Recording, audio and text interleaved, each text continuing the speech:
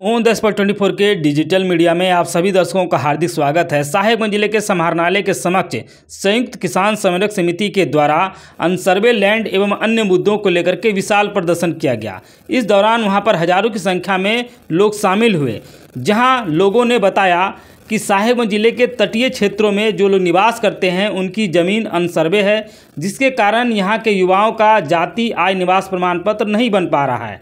हम लोगों के लिए एक बड़ी समस्या है, लगातार सरकार और प्रशासन गोलमोल रवैया अपनाते हैं। आगे उन्होंने कहा कि जो अनसर्वे लैंड है, और इसी अनसर्वे लैंड के कारण जो है, बीजेपी और उनसे जुड़े जो पार्टियाँ हैं, वह हम लोगों को बांग्लादेशी के रूप में संबोधित करते हैं। और यह एक महत्वपूर्ण बिंदु है। सरकार इस ज़मीन का सर्वे कराए और हम लोगों की जो मौलिक अधिकार है जो हमारी मांगे हैं उनको पूरा करे। आगे क्या कुछ नेताओं ने बताया है देखिए पूरा वीडियो। इनकलाब जिंदाबाद। इनकलाब जिंदाबाद। किसान एकता जिंदाबाद। पीछे इस साहिबगंज के गंगा से साहिबगंज से शुरू कर उधवा तक राधानगर तक 80 किलोमीटर एरिया में अनसर्वेक्षित ज़मीन पर लोग बसे हुए हैं। पिछले दिनों इनकी रसीद मिल रही थी, मालगुजारी रसीद मिल रही थी। इन्हें जो है, ज़मीन का म्यूटेशन होता था, इनका ज़मीन का रजिस्ट्री होता था। बच्चों को जो है, उनको जाति प्रमाण पत्र, निवास प्रमाण पत्र, आय प्रमाण पत्र मिल रहा था। भले ही निवास प्रमाण पत्र जो है, स्थायी नहीं हो लेकिन मिल रहा था। एकाएक तीन साल से इसको बंद कर दिया। इसी इशू पर लगातार जो है लोग एरिया में इसको लेकर के आंदोलन कर रहे हैं। उसी कड़ी में जो है, जिला में उसका जो है धरना प्रदर्शन हो रहा है और तीन मांग है। पहली मांग है कि अनसर्वे ज़मीन का सर्वे करना होगा। उनको जो है ज़मीन का मालिकाना हक देना होगा। दूसरा है ज़मीन का रजिस्ट्री करना होगा। तीसरा है ज़मीन का म्यूटेशन करना होगा। चौथा है उसको मालगुजारी देना होगा। और इसके साथ जो है बच्चों को जो जाति आय निवास। नहीं मिल रहा है इन्हें देना होगा। मामला बहुत संगीन है। इस दौर में हमारे देश में बहुत सारे कानून बदल गए लेकिन 200 साल पहले अंग्रेज़ों के समय बना हुआ कानून जो एलुभियन डेलुवियन एक्ट है उस एक्ट के तहत मेन स्ट्रीम से जो है, जहाँ मिट्टी उठता है, वहाँ जो है वो ज़मीन सरकारी घोषित होता है।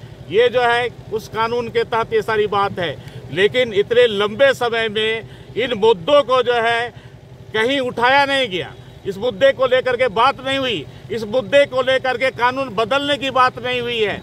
हम लोग मांग करते हैं कि जिस ढंग से आज हमारे देश में कानून बदल रहा है। आईपीसी सीआरपीसी कानून बदल गया एविडेंस एक्ट बदल गया, ये सारी बदल गया।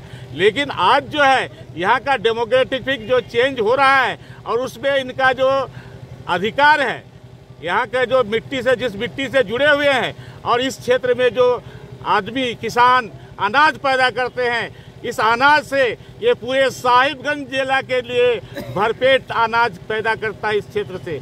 लेकिन इस क्षेत्र के लोगों के लिए सरकार की कोई चिंता नहीं है।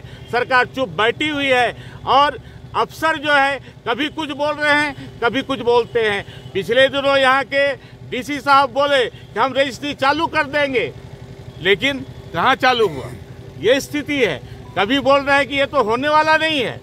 लेकिन सवाल है, यहाँ की जनता है, यहाँ की जनता लड़ाई लड़ेगी, इनके पास कागज़ नहीं होगा, और लगातार जिस ढंग से मीडिया में प्रचार हो रहा है, पिछले छह साल में, अगर आप मीडिया को देखेंगे, यही प्रचार हो रहा है कि साहिबगंज जिला में जो है, बांग्लादेशी घुसपैठिया है। एक बांग्लादेशी घुसपैठिया कौन है? ये बांग्लादेशी घुसपैठिया टारगेट कर रहा है कि दियारा क्षेत्र में जो लोग बसे हुए हैं, यही लोग उसका टारगेट है। और हम लोग खुल करके इसका विरोध कर रहे हैं। ये गलत फाहमी ना करके सरकार इस दिशा में जाइए। दियारा क्षेत्र में आप जो है इंक्वायरी कीजिए। अगर पकड़े जाते हैं तो उसको सजा दीजिए। क्यों आप लगातार प्रचार कर रहे हैं? मीडिया को भी हम कहेंगे मीडिया बंधु से कहेंगे कि आप जो है सरजमीन में इसकी जाँच करके देखिए पता लगाइए कि सही माने में अन सर्वे में बैठे हुए लोग बांग्लादेशी है या यहाँ के निवासी है। ये सर्वे की